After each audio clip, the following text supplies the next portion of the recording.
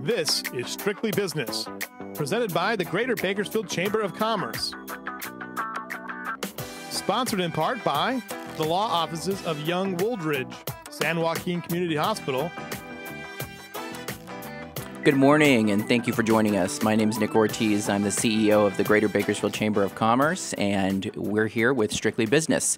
Um, Strictly Business is a partnership between uh, the Greater Bakersfield Chamber and the Bakersfield Californian, and um, we are very glad to be sponsored, as you saw in the, the run through up right up front, by Young Wooldridge LLP and San Joaquin Hospital. They make this show possible, and we thank them for their sponsorship.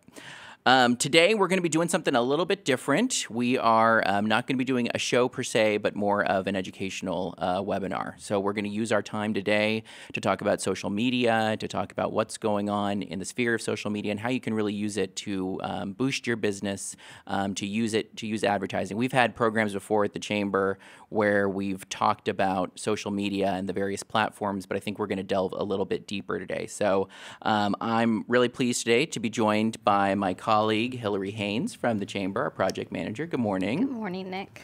And we've got Jamie Butow, who is our expert, social media expert. Hello. She's got a long history of being a print journalist at newspapers in the San Joaquin Valley social media consultant and teaches at the Levan Center at Bakersfield College. Yep, yep, two classes up there starting next month. Wow. Um, so we've got Social Media 101 and Social Media Marketing. Okay. Up there. No, that's great. That's great because I know there's a lot of people who are interested in it. Like I said, we've done some programs before where we've kind of focused on, you know, what are the various platforms, how do you use them? But I think the the next step is really, you know, what is what can you do to market your business on social media?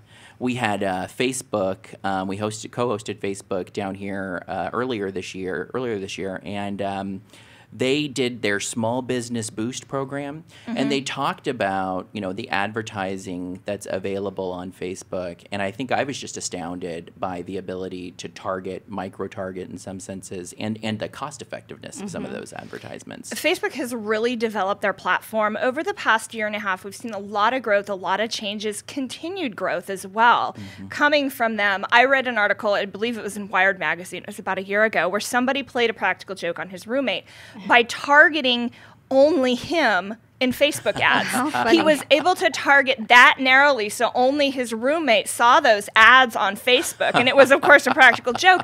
But that is the capability that's out there. So yeah. when you're talking about defining your audience and mm-hmm. targeting your audience, it's there, and Facebook has the platform to do it on right now. Yeah, so we have, um, you know, we've kind of I don't know, dabbled with Facebook advertising, Hillary, a, a little, little bit. bit. Yeah, with promoting our, our events that we have, and I'm excited to learn from you today, and I yeah. know our our committee and our members are as well you know, um, we've done, yeah, we've boosted posts on mm-hmm. Facebook and Twitter, but that's the extent of, you know, our, you know, expertise in it. We're, we're working with a consultant now where we're actually trying to target specific folks. And, you know, it's a little creepy, but um, you can actually, I learned from, from our marketing consultant, you can actually put a, you know, a list of folks that you want to yeah. target specifically, yeah. as you noted, and, you know, run certain types of advertisements. So we've been running some advertisements on Facebook um, about the chamber, um, kind of targeting folks who, who may have been members in the past but are no longer members, folks who are targets for members,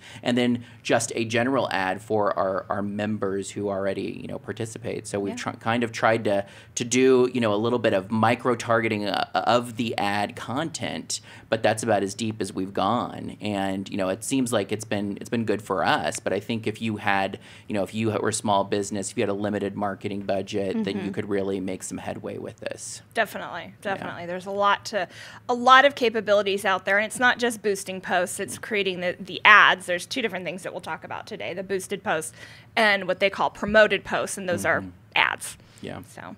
And you know, I think for for Facebook, but I'm not sure with other platforms, you can really actually you know, kind of if you don't have folks to, to micro target to, you can almost set up some um, I don't know some some boundaries or oh, some yeah. categories mm-hmm. of folks that you're you're looking to target, or you know you have a group of people and you want you know folks who are like them on Facebook that yes. you want to target to. Yeah, the company that I work full time for is this is what we do all day is we set up ad campaigns to help small businesses, mm-hmm. and one of the biggest platforms we use is Facebook advertising. Mm-hmm. Um, you know, I'm working with a couple of businesses in North Carolina, and they're really targeting military families around mm-hmm. Fort Bragg. Yeah. Mm-hmm. So we're able to specifically geo target those families living on base for specific ads, wow. and then the greater community where for the families that are living off base to get specific ads on Facebook. Facebook. Interesting. Yeah. See what we can do? I know.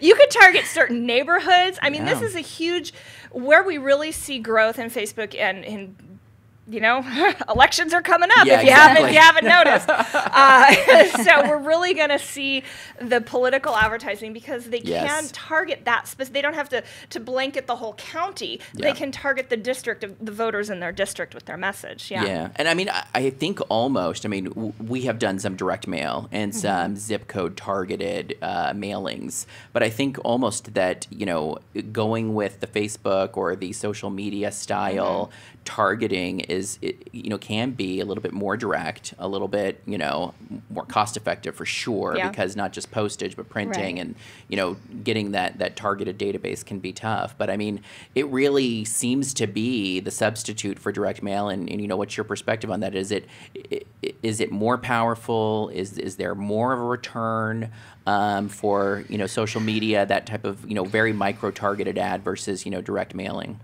the question that you have to ask yourself is where is your audience? Mm-hmm. where do you want them to be? And that's that's the biggest thing with social media is you'll you'll hear from small businesses well why do i want to advertise here? I'm not on facebook. I, why would i want to advertise mm-hmm. there because your audience is there, because yeah, your potential right. customers are there. Mm-hmm. So there are different platforms available, and we can definitely we'll talk a little bit about that. Facebook versus Google AdWords, for instance. Yeah. Um, where is your audience? What are they doing? What do you need to do to make them aware of your business and your products and services? So.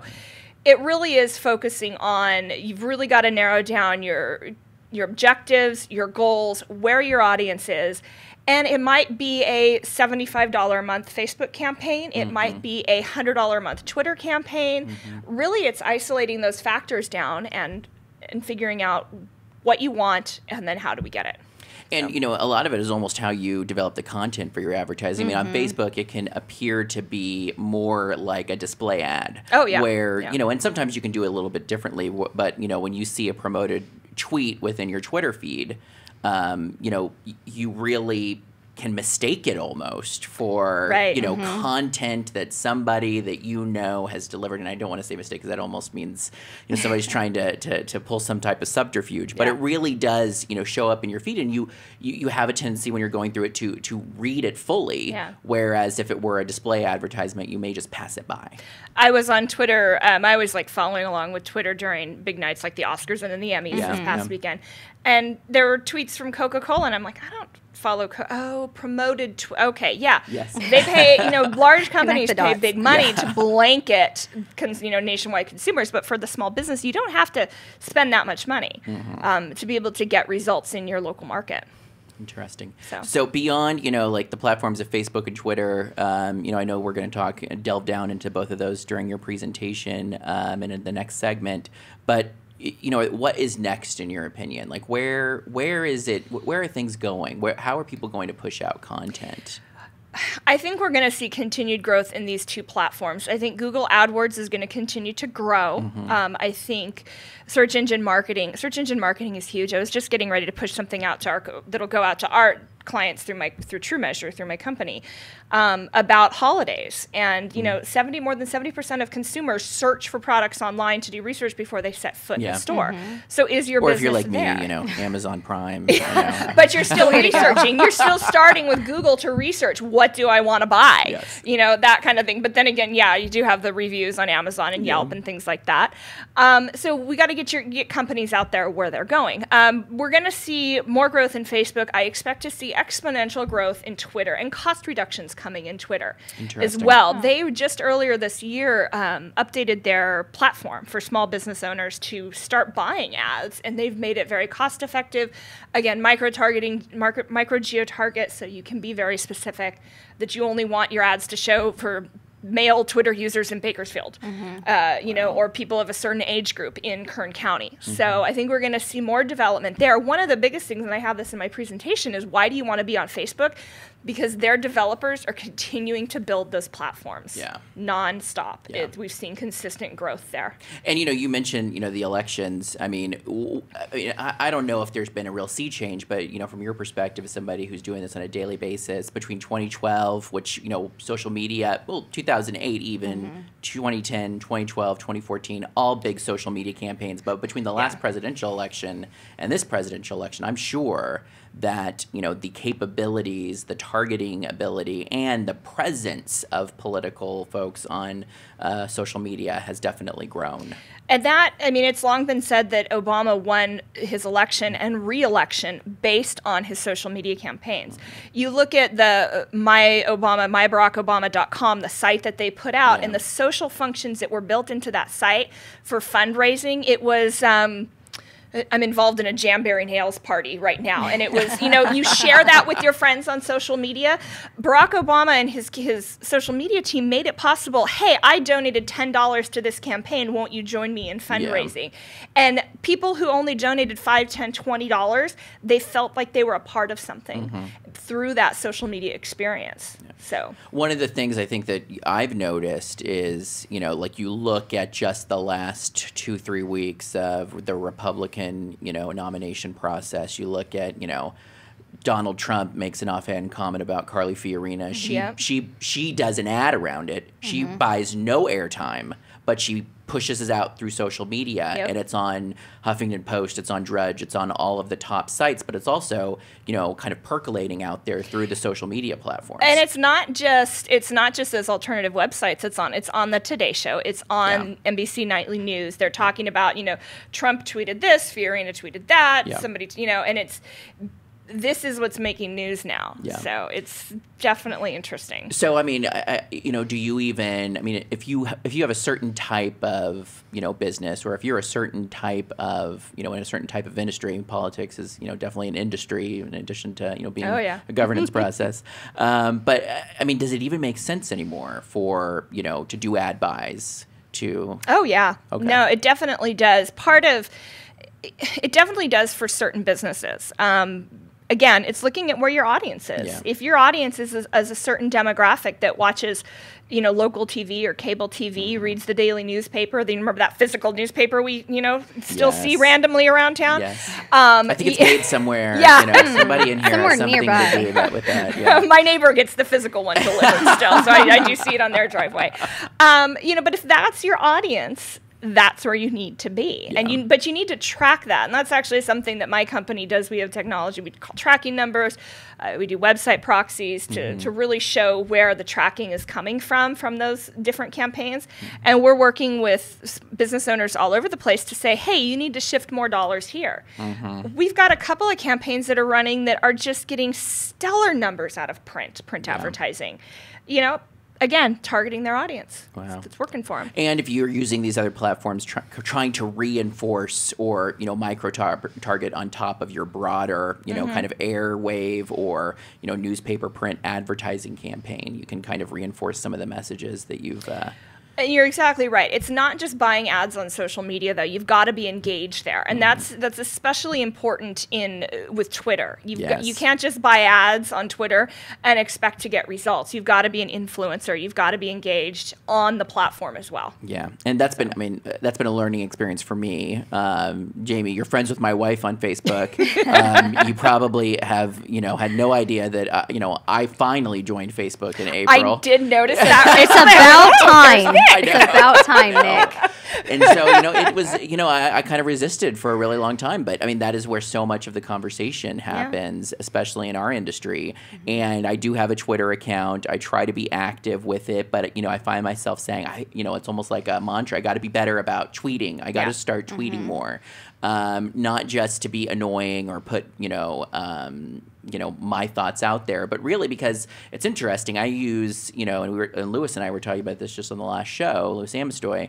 You know, I use Twitter for business. I use Twitter to talk mm-hmm. about here's what we're doing Right. at the chamber. Here's Right. where we are today, and I use you know Facebook more for the you know here's the crazy things my kids said or That's you are no. That is exactly that's the same exact way I use it too. I will get folks from that I you know from work that are trying to friend me on Facebook, and I'm like, oh, sorry, Yeah. I keep my Facebook personal, but I do use Twitter and LinkedIn Yeah. Mm-hmm. Mhm. for hey, here's this great thing. I'm working on my master's in media psychology, so it's like, oh, look at this great article I read on Yeah. on the science of happiness and how it affects our social media behaviors. Um, so I, you know, that stuff. I tweet out any kind of social media news, Mm-hmm. e-marketing, digital marketing news. That's Twitter and LinkedIn for me. I think if I put that on Facebook, I'd have friends jumping ship left and right. Like, "Ah, what is she talking about now? Again. No there she goes. of There she goes, geeking out again. Yeah. You know, one of the things that I've actually, um, one of our colleagues got me hooked on, you know, podcasts, which is Oh, yeah. really an interesting and unique way to kind Welcome of. to 2013. I know. Have you listened to Serial yet? Yes. Oh, good. and now I'm obsessed with all of the serial like spin-offs. Yeah. You know, like I'm I have like five serial spin-offs that I have to follow. Yeah, no, if you haven't wa- if you haven't listened to Serial, I'm sure, you know, as a journalist you're probably very interested in that. I want in that- more. Yeah, I know. I know. They will not say when that podcast comes back. But no, I, what I've noticed is I mean even in the chamber world, Mm-hmm. we have folks who are doing very specific podcasts on like membership. How do you build value into your programs? How do you maximize, you know, kind of revenue per member? You know, and it's, you know, 15 minutes and you know it's very easy to just kind of throw out there and you kind of not only are throwing out content but you're also you know becoming almost a knowledge leader on some of these issues And most of them probably have a hashtag Yes. associated with them. Yes. Yeah. Uh, There's something, a stat I read recently that, again, in the Super Bowl earlier this year, more than 65% of the ads had hashtags in them oh wow, Wow. because they want That's you to go online and see the rest of the story. yeah yeah and it's always yeah there always is some you know do this after you know Yeah. seeing the the ad the crazy ad We don't passively watch TV anymore. We Yeah. engage with it. Yeah. So you go online and you talk about uh, the TV show, the season finale, the series finale, things like that. Mm-hmm. Yeah. So Well, and I, I think there's even been, you know, if you have a smart TV, um, we saw this during the, the, the Super Bowl as well, where you could, you know, just scroll down and it would take you to whatever page they wanted you to go see. Yeah. And, you know, again, they, a little creepy, a little, you know, Big Brother ish, but I mean, definitely expands the reach of, Yeah. you know, traditional advertising campaigns. definitely. Yeah. Yeah. So, um, yeah, I'm, I'm, on, I'm doing podcasts. I'm on Facebook now. I'm continuing to tweet. So I'm trying to be better, a better social. I said, you know, a year ago, if you asked me, I would say I was a social media dinosaur. But you know, I'm really, I'm really trying to do a better job of, you know, engaging with these platforms, especially because they're important to our membership, right, Hillary? They're important to our They are. membership at the chamber. It's a lot of the way that you know uh, our members connect with us or follow what we're doing very quickly, or see, hey, where to go. You know, there's a there's an event, there's a mixer. You know, immediately, you know, people are looking to see, you know, where it is, Who's and, attending? and if yeah, if, Yeah. if it's worth their while because you know who's there, who's checked in, who's tagged in, in a picture. You know. Oh, yeah. Well, um, we're going to break in just a minute, but um, we will use the next segment to have Jamie go through a presentation um, where she'll talk about, you know, some very specific, show some screenshots, you know, take you through how to do the advertising. Um, and um, in our advertising on our um, website and our, our social media, we encourage you, if you have questions, comments, feedback, um, to either post them to the Chamber's Facebook page or tweet um, to the Chamber or myself. Um, it's at Bake Chamber or at Nicholas Ortiz, and use the hashtag StrictlyBizGBCC. So it's StrictlyBizGBCC is the hashtag. So we'll be following Twitter, and if you have any questions, any comments, any concerns, um, then we can address those, and, and we can you know interrupt Jamie and you know ask her a question real quickly. Um, so with that, I think we're going to go ahead and break, and when we come back, we'll have Jamie with her presentation. So stick with us. This is Strictly Business. Thank you.